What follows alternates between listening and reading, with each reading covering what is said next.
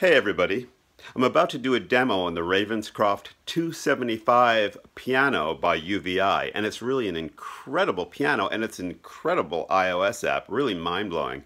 When I plugged my Kronos uh, into it, I was truly blown away.